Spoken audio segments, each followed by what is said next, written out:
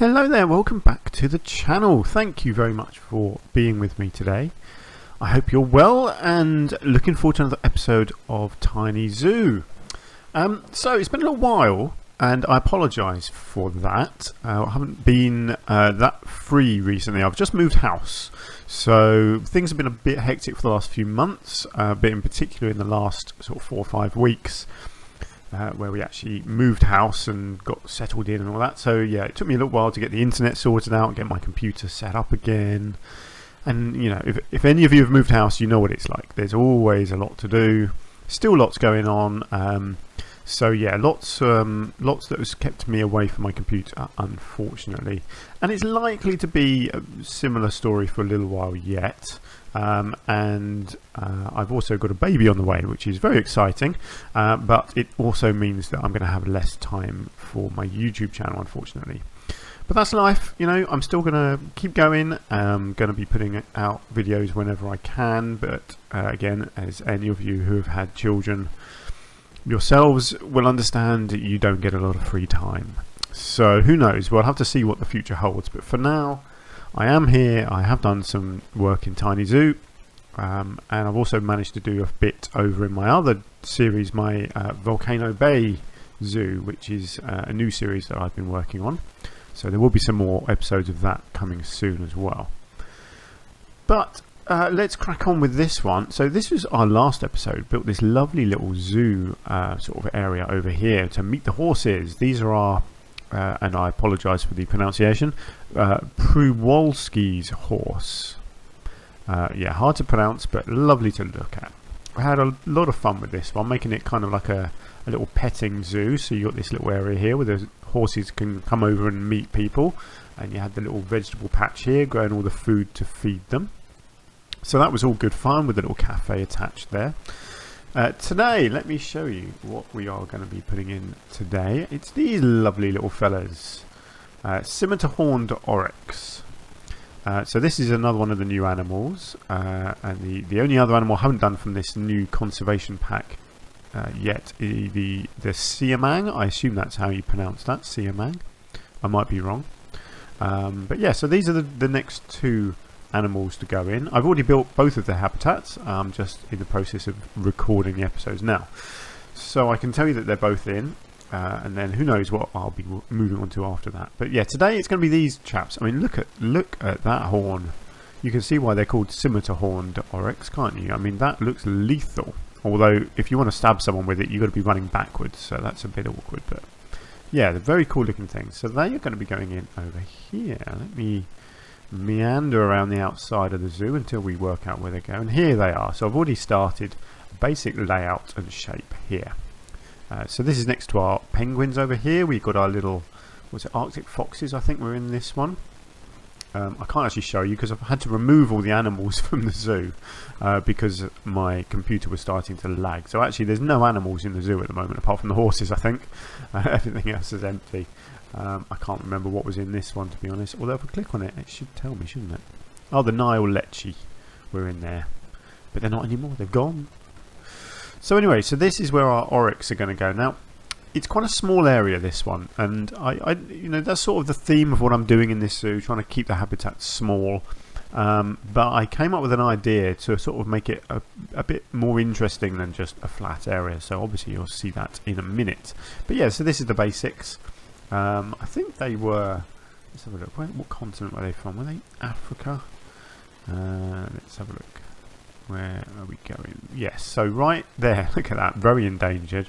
Right in the middle here of Africa. So I thought desert uh, made sense for them. Let's look. Uh, antelope that used to live in and around the Sahara Desert. I don't think it does anymore though. Um, does it tell how rare they are? I mean, it's a very small area, wasn't it? Uh, at present, only reintroduced populations exist in managed nature reserves and national parks in North Africa. It's very sad, isn't it? Um, successful captive breeding programs, conservation efforts running into difficulties when reintroducing the animals to its natural range. Yeah, it's um, yeah, it's suffering. Unfortunately, it's extinct in the wild, basically. Well, no, don't know. There are hopes that it won't be extinct in the wild soon because it's being reintroduced. So yeah. So anyway, that's why I went with a sandy uh, texture and you've got a, a, pathway coming around here uh, which will link into this one. Obviously this is a fake path we have over here so this will be connected with another fake bit of path uh, but the real path is in there at least. Uh, so yeah, so uh, you'll see what I came up with to make this an interesting enclosure uh, in a minute. So let me move on. Excuse me. Let's let's move on to the next section. I'll show you what I did next. Right, and here we have our oryx. Uh, I think I had a little family of five in here. Yeah, so I think we've probably got a few females and a male. Let's have a look. One, two, three females, one male, four females. Wow, he's a lucky guy, isn't he? So here we go. Um, this is what I came up with to make the enclosure a little bit more interesting. So you have multiple levels basically and a bit of a cave. Um, so it comes in right underneath the pathway here and this is their little sleeping area. And you've got a bit of a, a water area here with a gentle slope so you, they still have a bit of a flat area up here where people can uh, see them from this pathway. Um, and then along the top here uh, I use these nice faux rocks to create this flat ledge along here. And I, I do actually make it I think I build it a little bit more along here. So the um, the animals can actually walk all the way along this because uh, obviously I do put a fence along here but I've made it so that the animals can come all the way along here and I think eventually I actually put a feeder or something right down at this end to encourage them to come along um, so the idea is that they do get sort of right up close and personal with the visitors on the path. Um, yeah, I thought it was just something a bit different, a bit interesting. Um, also had the idea of putting in a little waterfall over here, which I do. Um, yeah, and it just it just breaks up the you know the flatness, doesn't it? If you do something like this, uh, makes it interesting for the people, makes it interesting for the animals, gives them you know a bit of climbing to do. Um, yeah, so there we go. So pretty pretty straightforward bit of landscaping, but it, it definitely just adds something I thought um, to the, to the habitat. So there we go. That's that. Um, pretty straightforward, pretty simple. Uh, lots of detailing to do. Uh, it was quite a quick enclosure this one, so it is only going to be a short video today because um, there's not that much to go through really, but I quite like the results. It's something a little bit different. Um, so let's crack on. Let me load up the next save point. Okay, so here we have our basic uh, structure all in place now. One thing I did change uh, was the gate. So I put in one of these smaller uh, gates because they're just great. I can't believe it took them sort of, what six or seven expansion packs to finally put in a, a half height gate. But there we go, it's here now because uh, obviously it matches beautifully with the in-game fencing. So yeah, all looks really nice and uh, yeah I've used the in-game fencing here I don't always do custom stuff um, often I do but sometimes it's nice to use the in-game stuff when it looks suitable uh, and I thought this one did so the fencing obviously just goes all the way around matches up to there um, around here. Like I said I, I added a couple more um, rocks in here. So if we go down to the traversable area you can see that they can in fact walk all the way along there. And they can go up and down the slope, then go in the water, then go in the cave. It says they can escape there, obviously they can't, it's just that the, the barrier is above the land and they can just about sort of go underneath it, but that's fine. Uh, over here I did put in a little waterfall, I think that looks really nice just using all these fake rocks again so the idea was not that this was a natural formation so that's why I've used the faux rocks. So the idea is that this has been dug out and built on purpose for these animals. Um, hence the faux rocks. And I think that looks pretty cool. Um, put one of these little grates that I like to do here, a little touch of realism, just makes it look like the water is actually coming out of something. Uh, left all the trees like they are because I, I like that the roots kind of come right down and hang over the edge like this. I think that looks pretty good. Um, obviously there's a lot more detailing still to do. Um, and then over here I just extended this fake uh, walkway here so just deleted a bit of rope from here and then built an extension here and some steps coming down to meet this pathway. So obviously it's not usable but it looks good. Uh, well I think it does anyway. I was pretty happy with it. Um, so there we go. That's our basic structures all in place now. So vegetation still to do and enrichment items. Uh, obviously no need for any shelter I don't think in this one because they've got their cave down here. So I don't think I did anything up here. It has been a little while since I did this. Um, so yes, I, I explained that I've just moved house. I did actually build this before I moved house. I'm only doing the commentaries for it now. Uh, and the same with the next episode. So I'm I'm kind of renewing myself with these uh, these enclosures because it has been a couple of months since I actually built these. Um, so I can't entirely remember my process and my you know my thinking behind it all. To be honest, I'm sort of discovering it with you. Um, so yeah, so there we go. So that's um, that's that. So let's load up. I think there is only one more save point for this uh, episode. So that will be our finished uh, habitat. So um, let's have a look at that, shall we? And here we have, excuse me, our finished uh, habitat. So lots of extra bits and pieces have gone in here. So we have uh, the main thing, obviously, it has to be, doesn't it? An umbrella tree, my favourite. Had to have one of them in there. I couldn't have an enclosure without one, really, could I?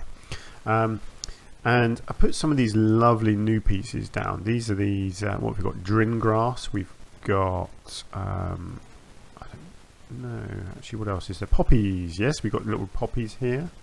Um, is this the same again? Yeah, drinn grass again. Poppies.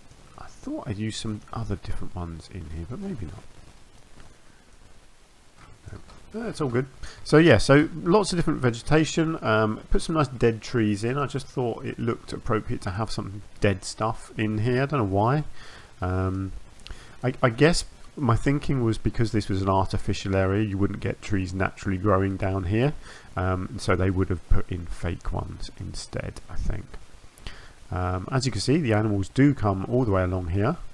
Uh, got the guy over here putting some food. So we've got our little food station at the end and hopefully they're going to demonstrate now that they do actually come over and eat. Is this guy gonna so or this lady. No it is the guy. It's Yazid. Here he comes coming in for his dinner. Yum yum. Lots of yummy leaves.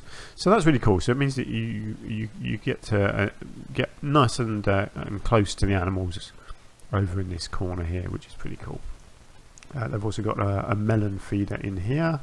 A bit more shrubbery here and there, not too much. Um, You've got a, a, barrel feeder, you've got a little thing that they pick up and walk around with, you've got a scratching post, you've got another feeding ball over here.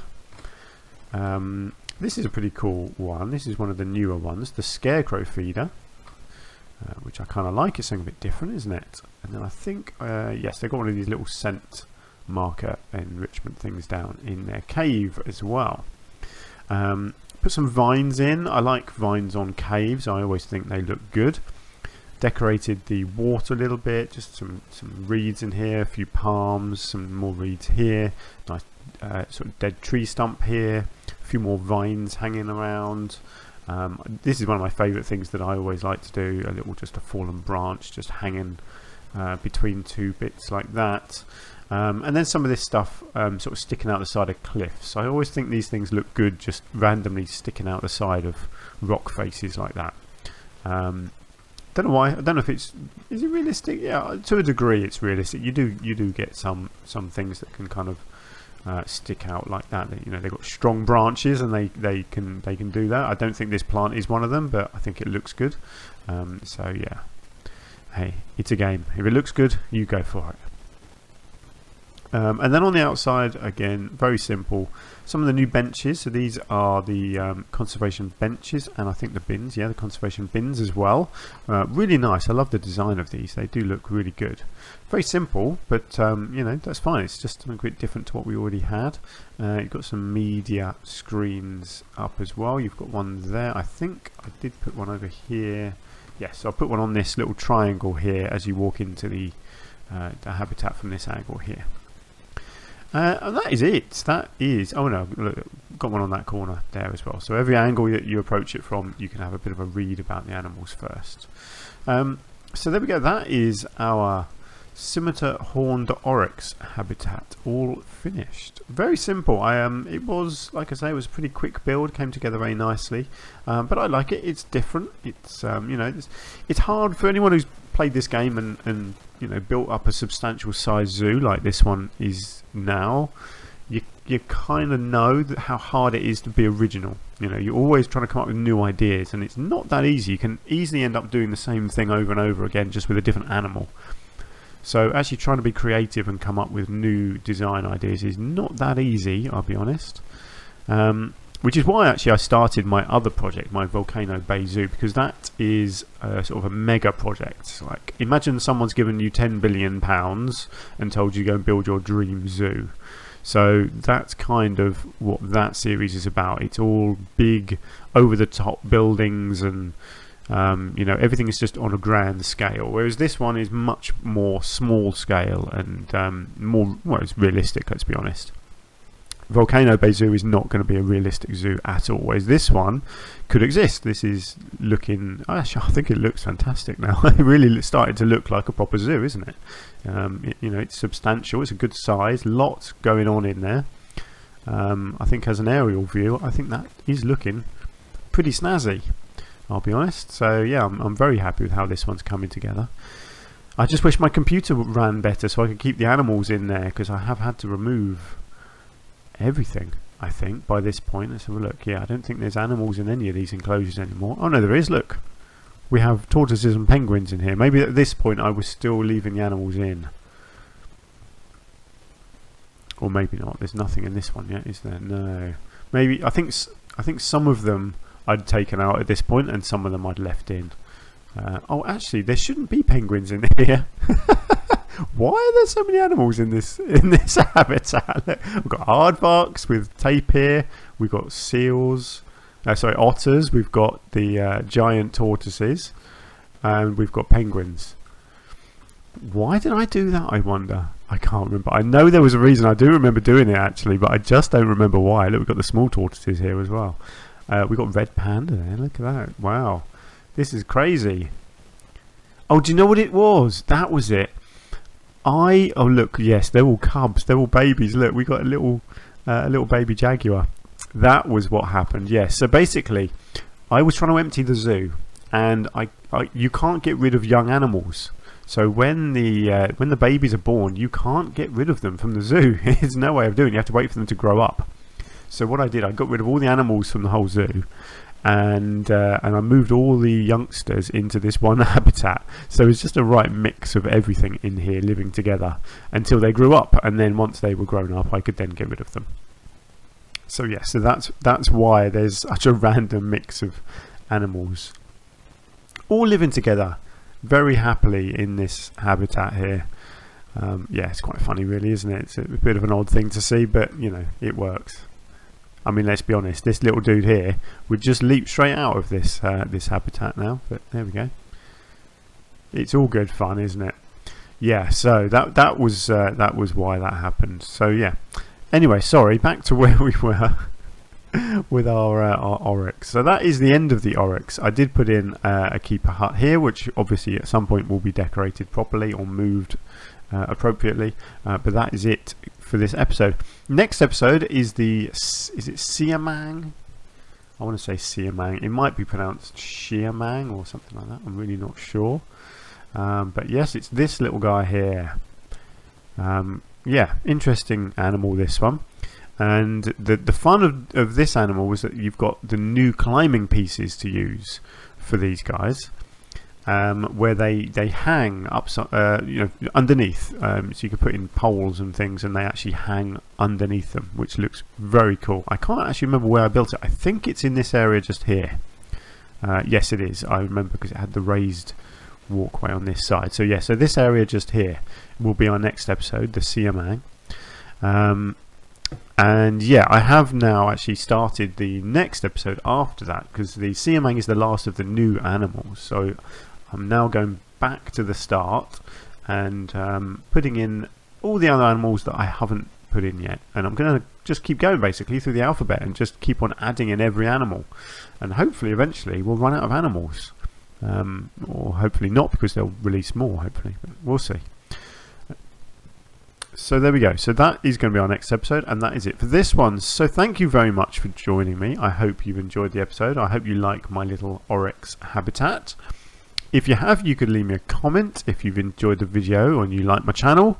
Uh, please do hit the like button. That really helps me out. I am trying to grow the channel, uh, and obviously, if I can grow the channel, um, the, the the more the channel is uh, attracting people, the more time I can then spend on it. Um, you know, putting it quite bluntly, if I get to the stage where it's bringing in a little bit of pocket money, I am going to be able to dedicate a bit more of my spare time to it.